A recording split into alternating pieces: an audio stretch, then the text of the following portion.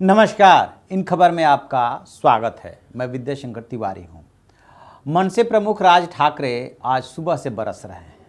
सबसे पहले उन्होंने केंद्र सरकार को आड़े हाथ हो लिया कि क्या भारत कोई धर्मशाला है? बाहर के लोगों को बुला करके बसाने की ज़रूरत क्या है? इसके बाद बारी शिवसेना और उसके प्रमुख उद्धव ठाकरे की थी। एक एजेंसी से बातचीत में उन्होंने कहा कि एक्चुअली जो शिवसेना और बीजेपी है, उसने जो है महाराष्ट्र के लोगों के साथ जो है छल किया है। जनादेश मिला था शिवसेना और बीजेपी को और शिवसेना ने सरकार बनाई एनसीपी और कांग्रेस के साथ। दरअसल वो जो इशारा कर रहे हैं, वो हर कोई इशारा समझ रहा है। उद्धव ठाकरे की जगह पे कभी वही हुआ करते थे शिवसेना में। जब बाला साहब ठाकरे ने, उद्धव ठाकरे को सक्सेशन ट्रांसफ़र करना शुरू किया, तब दोनों भाइयों के बीच में तलखी बढ़ गई और अंततः उन्होंने शिवसेना को छोड़ दिया। अपनी उन्होंने पार्टी मनसे बना ली, लेकिन मनसे के, जो कह सकते हैं कि एक तरह से दाल उनकी गली नहीं महाराष्ट्र की राजनीति में। मौजूदा जो विधानसभा चुनाव हुआ था, उसमें सिर्फ़ उनका एक विधायक जीत करके आया।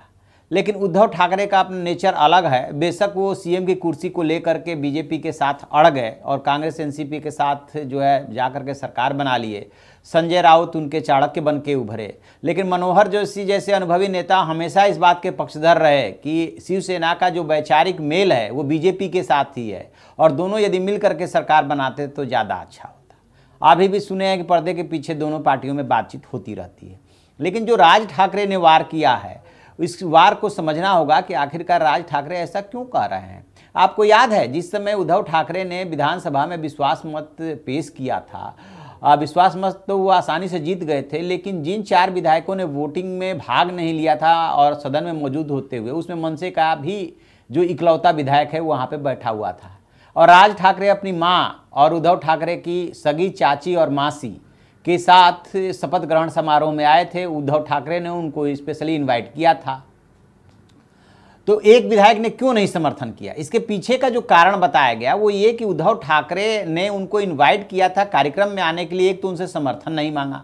दूसरी चीज़ कि बेशक लोकसभा चुनाव में ये जो राज ठाकरे हैं इन्होंने कांग्रेस और एनसीपी के लिए काम किया आ, बट जो उनकी पार्टी की पॉलिसी है जो एग्रेशन है वो कहीं से भी मैच नहीं खाता है वो दक्षिणपंथी पार्टियों के साथ ही मैच खाता है।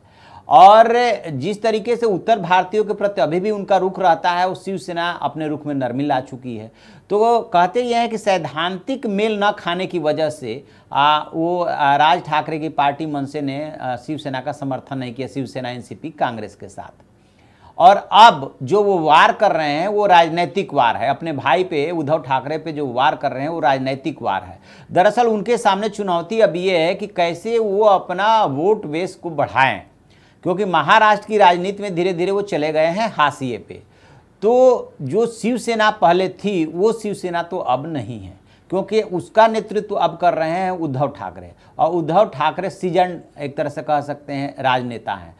तो ये राज ठाकरे की रणनीति ये है कि जो एग्रेशन लाइक करता है, और अब शिवसेना के साथ नहीं रहना चाहता है, क्योंकि शिवसेना ने कांग्रेस और एनसीपी के साथ हाथ मिला लिया, या अब वो एग्रेसिव नहीं है, वो वाला वोट बैंक वो चाहते हैं कि हमारी तरफ़ अब ट्रांसफ़र हो। और पहले से है भी कुछ, और अब और ज़्यादा उसको ट्रांसफ़र कराना चाहते हैं, इसलिए वो अलग लाइन ले रहे हैं। और यही वजह है कि वो शिवसेना पे पहली बार ऐसा हुआ, शिवसेना पे भड़के मतलब 28 नवंबर को ये सरकार बनी थी, अभी एक महीने भी पूरे नहीं हुए हैं। और क्या सरकार बनने से पहले क्या ड्रामा हुआ था, कैसे मिडनाइट में जो है देवेंद्र फडणवीस को शपथ दिलाई गई थी और अजीत पवार डिप्टी सीएम बने थे, ये सबको पता है। बारह तो उस समय जो सबकी नज़रें थी शपथ ग्रहण समारोह में, जो उद्धव ठाकरे का शपथ ग्रहण समारोह हुआ तो उसमें राज ठाकरे पे थी। अपनी चाची और मासी, यानी कि उद्धव ठाकरे की माँ और राज ठाकरे की माँ दोनों सगी बहन है। तो उनकी उद्धव ठाकरे की माँ मीना ठाकरे तो अब इस दुनिया में रही नहीं, लिहाजा जो मासी और इधर के नाते से चाची भी हैं, उधर के नाते से मासी हैं, उनसे वो मिल करके भावुक हो गए थे।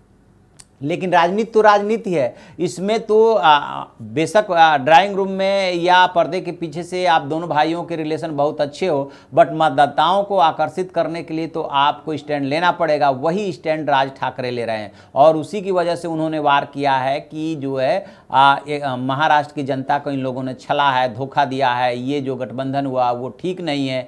तो सवाल ये उठ रहा है कि एक महीना बाद आखिरकार वो क्यों बोल रहे हैं? तो बोल रहे हैं कि राजनीति में प्रासंगिक बने रहना है तो कुछ ना कुछ बोलना पड़ेगा।